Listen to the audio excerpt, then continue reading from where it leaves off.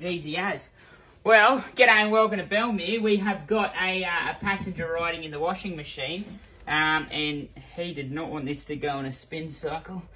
That was scared the heck out of him. So the hard thing with these is the drum, um, obviously, that they can get down to. So I, I just always secure the tail and then try and work the rest of him um, back up. So come on, mate. There we go. He's going to come around this side, actually. Right, this is the joys of having a carpet python curl up down in the uh, in the washing machine. Geez, I don't deal with this very often. Come on, and you just gotta basically tickle them. I'll move this back a little bit. There we go. Come on, feed back up.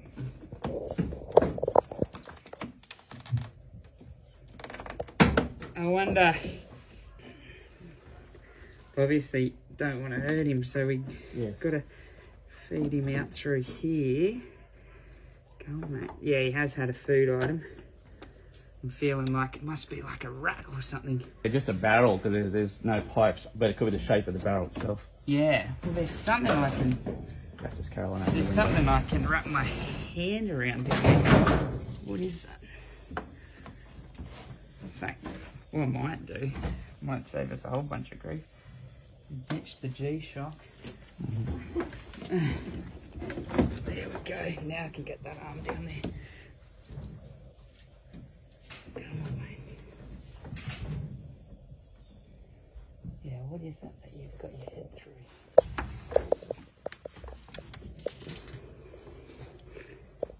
through? Okay, there you go. He's going to bring himself back up now. Girls, get ready. He'll come out soon with a better luck. Here he comes. He's backing out. Bring your head out slowly. There you go. Goodness, that was a lot of hassle for you, mate.